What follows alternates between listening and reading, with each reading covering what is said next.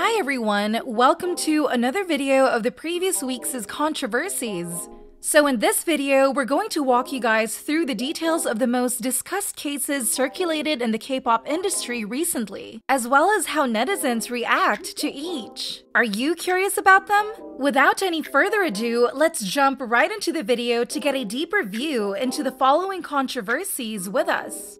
Number 1. New Jeans got accused of allegedly copying the lightstick design of BAP.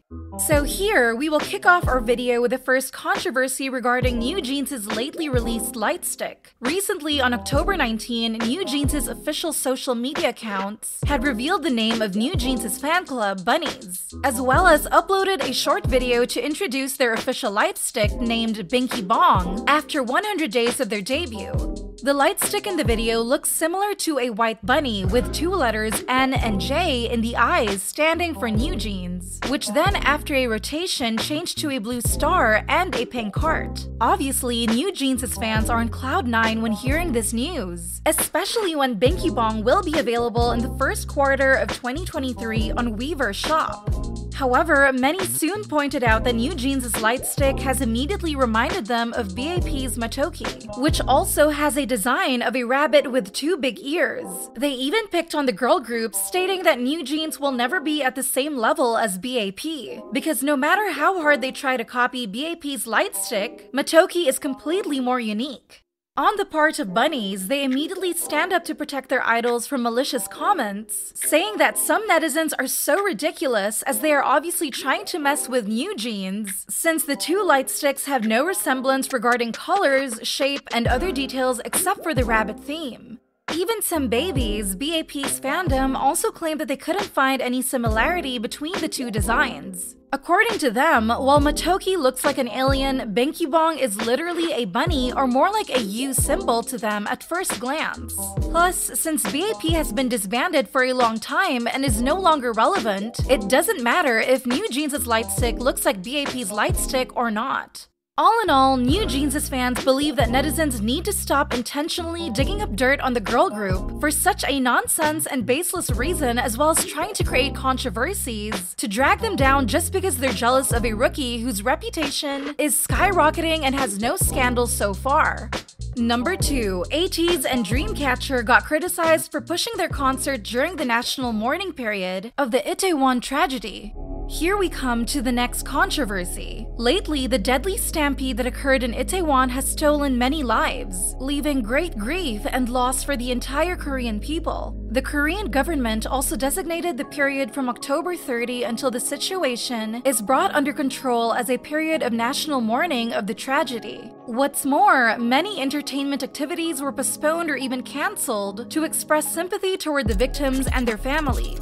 However, recently, ATEEZ and Dreamcatcher were put under harsh criticism for holding their concert during this time. Accordingly, ATEEZ's world tour The Fellowship Break the Wall would last for two days from October 29 to 30, while Dreamcatcher also threw their 2022 Dreamcatcher Apocalypse Broken Halloween World Tour from October 29 to 30. These decisions soon got on many netizens' nerves. They criticized the two groups of being so hungry for money that they shamelessly pushed their concerts during the national mourning period. Some fans even turned their back on ATEEZ and Dreamcatcher, stating that these groups are so greedy and cold hearted to the point that they didn't even spend time for the victim commemoration.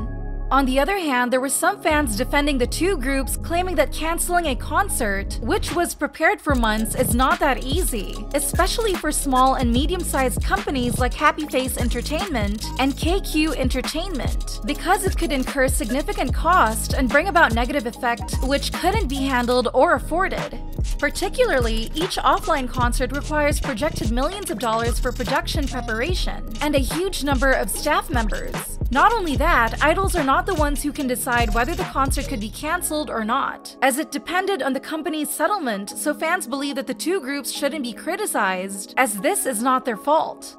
Moreover, some also spotted that in every concert, ATEEZ did show the respect to the national mourning period, as they always wore black ribbons in their arms when performing. Thus, they said that netizens should get to know the situation thoroughly before throwing spiteful words at idols, as they obviously don't deserve the hate. Number 3. VIXX's Hongbin called reporters trash when denying his drug using rumor on Twitch. So let's get into the details of the last controversy. Recently, according to what the Nowon police station in Seoul reported, on November 4th, a man was arrested on charges of violating the Narcotics Control Act right at his home in Gwangjin-gu, Seoul, after reportedly being found using illegal methamphetamine. For further information, the police revealed that this man is in his 20s and used to be a member of a former idol group, debuting in 2012 but then stopped pursuing his idol career path after the group disbanded. As soon as the news circulated all over the mass media, many netizens as well as digital press suspected that the man arrested is the former member of VIXX, Hongbin, based on the fact that Hongbin also debuted in 2012 and changed from being an idol to a BJ internet broadcast jockey. Didn't wait for his fans' his defending, the former idol himself soon responded to the drug charges allegation to prevent misunderstandings and trouble. Specifically, later on the same day, Hongbin uploaded a video on his own Twitch channel with a caption, Today is a holiday. In his video, he angrily stated that I'm trending everywhere today because of those garbage articles. Reporters are trash. I can state confidently that I am a victim of those allegations. I stream for 11 hours each day. When would I have time to do drugs? Hongbin expressed his anger toward reporters when being titled as a drug addicted idol by saying that, Who would use drugs and then receive physical therapy? I'm really upset. Soon enough, his strong statement hit many headlines. Along with that, many netizens stand on his side and defended Hongbin, stating that they are 100% sure that the man who was arrested for illegally using drugs is not Hongbin because in fact, VIXX isn't disbanded yet. Instead, the members are now just focusing on their individual work. Besides, there are many groups making their debut in 2012, so why did people jump right into conclusion that it is Hongbin who is facing drug charges? Some also bursted into anger toward reporters criticizing them for publishing misleading and false news without any valid or visible evidence just to draw attention. While many are satisfied with Hongbin's reaction, others claim that it is such a blanket statement of him when calling reporters as trash, because not all of them spread baseless rumors.